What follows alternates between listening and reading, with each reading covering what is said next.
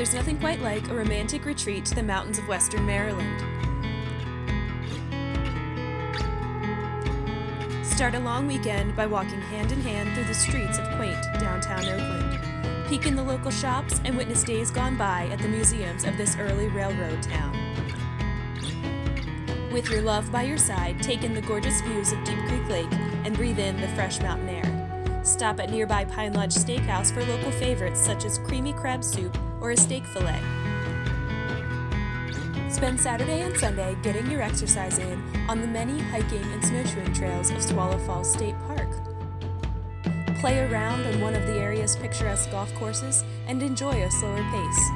You'll see that nature is simply spectacular here.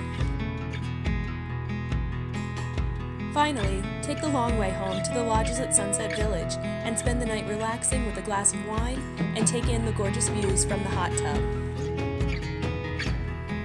One thing is certain visit Deep Creek Lake and make memories that you'll never forget.